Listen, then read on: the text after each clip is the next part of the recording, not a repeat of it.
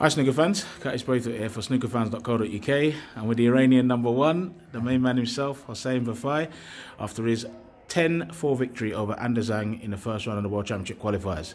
Hossein, well played man. First of all, I would like to say hi, hi to everybody who watching this video, to the snooker fans. Yeah, I play great, uh, I play great, uh. I had 10-1 visits, uh, over 70 every frame. I was flying actually. I couldn't be any better than that. With that performance, I'm so happy. I hope the people, snooker fans, are happy as well. yeah, it's always great to see you playing well. You're a great character, mate, and a fantastic player.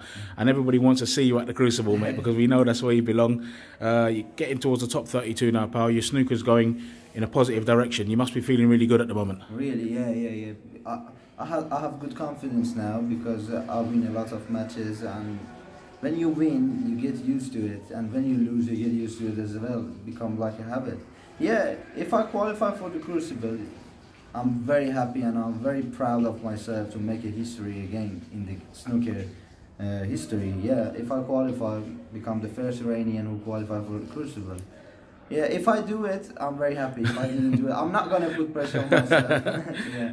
But listen, I know um, you're very, very proud of your roots, very, very proud of where you come from. I mean, you and Soheil are flying the flag on the main tour for Iran, playing some fantastic snooker, and it's great to see for all the fans, you know. Yeah, exactly. I like Soheil to do well as well, you know, because he's working, he's trying very hard with his situation. Yeah, hopefully he win as well, and. Uh, make us happy as well, you know. Absolutely, Pass. A couple of days off now before the second round. What's the plan between now and then? Uh, just relax, going have a good food, good restaurant, you know. Yep. Just relax. good man, pal. But like, just touching on the game today, like Anda Zhang was a tricky, tricky game. Like, as a one of the harder draws for the first round that you could have got. But like you said, 10-1 visits.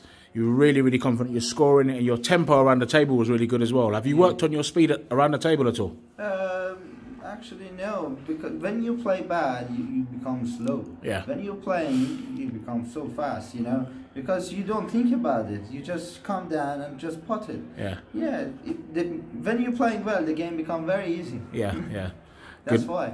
good man. All right, look, I said I'll let you go and relax and chill out, pal. But look, very, very well done against Anda Zhang. Thank and you very much. All the best in the second round, pal. Thank you. Thanks, people. Thanks to Snooker fans.